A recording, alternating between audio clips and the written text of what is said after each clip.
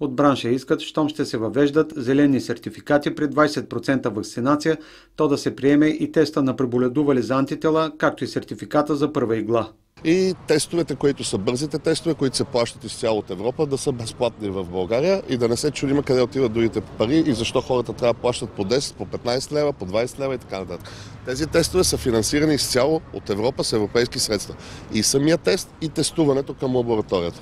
Това са нашите основни искания, които искахме и нищо от това не се случи, се прия само зеления сертификат при условие, че, пак казвам, 20% вакцинация, повече от половината от тях са над 65-70 годишна възраст, което за фитнеси, за заведения, детски центрове и всички, които попадаме в заповедта, като цяло е невъзможно да се работи с толкова малко клиентел.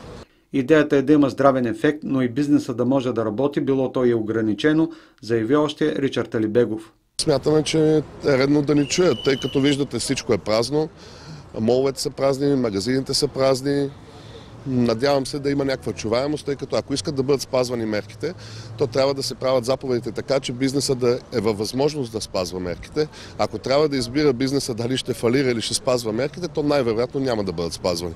А тогава няма да има абсолютно никакъв здравен ефект.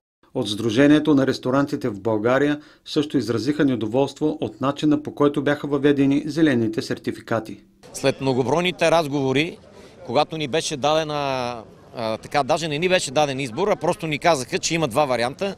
Единият вариант е пълен локдаун, другия вариант е въвеждане на зелени сертификати. Естествено, че ние не сме съгласни на пълен локдаун и казахме, че бихме по някакъв начин се съгласили на тези зелени сертификати, ако те обаче бъдат издадени за всички български граждани, въжат за навсякъде, на всички затворени помещения, където се събират хора, въжат за цялата държавна и общинска администрация. Предстои да се проведе национална среща на браншовите организации, за да се обсъдят по-нататъчните действия на засегнатите бизнеси.